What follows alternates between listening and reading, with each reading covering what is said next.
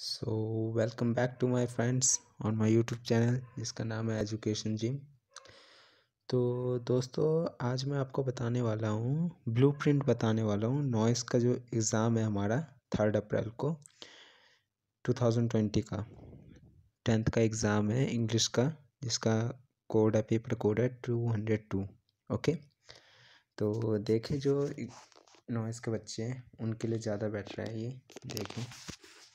Format best है ताकि वह एग्ज़ाम टाइम में डरे ना और इजीली अपने क्वेश्चन सारे करके आए। ठीक है, देख लें जैसे कि पेपर कोड है आपका two hundred two section A में आपके होते हैं रीडिंग पार्ट ठीक है? पंद्रह मार्क्स का आता है क्वेश्चन दो क्वेश्चन इसमें आपको दिया होता है फिफ्टीन मार्क्स में।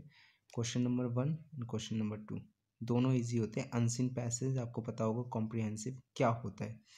मीन्स होता है कि आपको ऊपर एक फॉर्मेट दे देगा पैसेज दे देगा, छोटा सा एक कहानी बना के दे देता है। उसमें से आपको आंसर ढूंढना होता है और फिल करना होता है।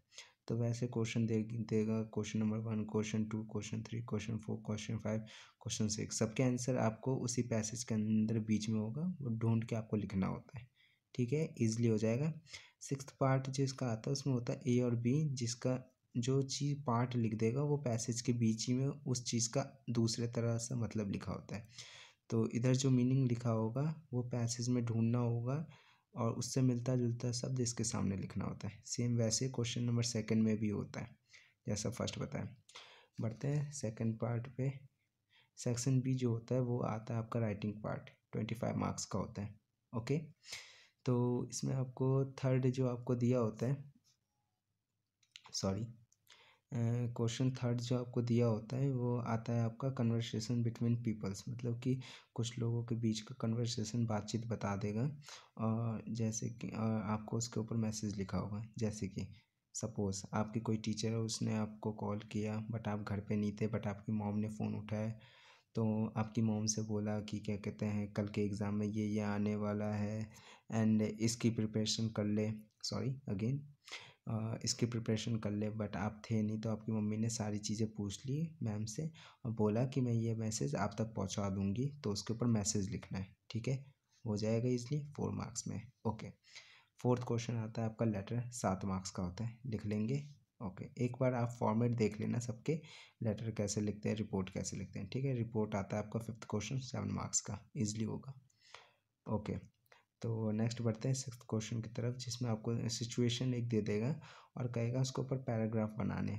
तो पैराग्राफ इजीली बन जाते हैं लाइक आपको जो सिचुएशन दिया होगा बड़ा सा, उसी में से कुछ कुछ पॉइंट छाट छाट के आप अपनी तरफ़ से एक पैराग्राफ बना सकते हो।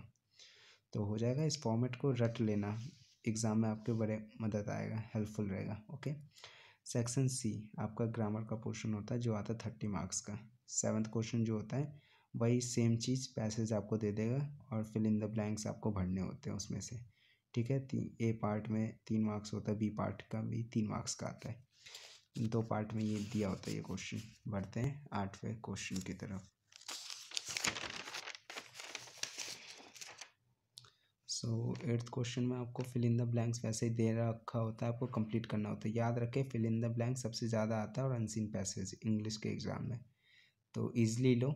ज़्यादा स्ट्रेस नहीं लेना है ईज़िली हो जाते हैं। नाइन्थ क्वेश्चन में आपसे वर्ब पूछता है। लाइक आपको एग्जांपल में दे देगा कुछ भी कि डू है डज है कुछ भी डू है डज है कुछ भी तो उसके ऊपर आपको लिखना होगा कि क्या है इस पार्ट का। वर्ब कौन सा आएगा? ठीक है? ओके तो बढ़ते हैं नेक्स्ट की तरफ़, जो है आपका टेन उसमें आपको डायलॉग दे देगा। फिल इन द ब्लैंक्स आपको फिल करने होंगे तीन मार्क्स का होता है। इंडायरेक्ट स्पीच गिवन होता है आपको फिल इन द ब्लैंक्स आपको फिल करने होते हैं छः मार्क्स में। चार ऑप्शन दे देगा उस, उसमें से आपको बोलेगा कि कौन सा ऑप्शन ज़्यादा बेटर है उसके ऊपर आपको टिक लगाना होगा वो ब्लैंक आपका फिनिश सिक्स मार्क्स खत्म। सेक्शन डी होता है आपका लिटरेचर का थर्टी मार्क्स का आता है जिसमें पहला क्वेश्चन आपका होता है स्टेटमेंट दे देगा एक और बोलेगा इसको फुलफिल कौन सा ऑप्शन कर रहा है उसके ऊपर टिक लगा देना होगा। फोर्टीन क्वेश्चन में आपको पोएम दे देगा, उसी पे क्वेश्चन आंसर बनाने होंगे। क्वेश्चन दिए होते हैं आंसर आपको पोएम में से ढूंढ के लिखना होता है।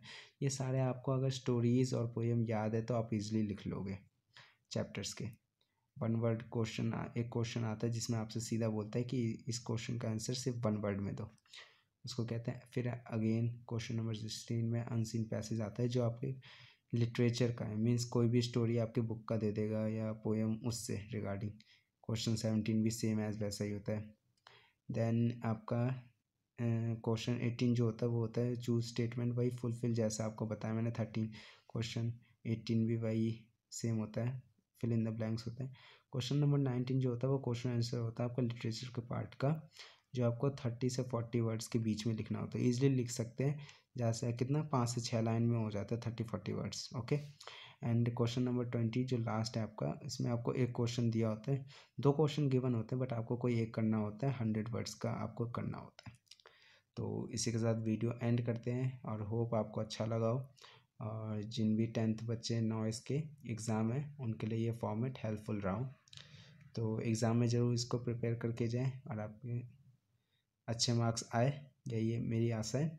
तो मिलते हैं नेक्स्ट वीडियो में। Thank you and bye bye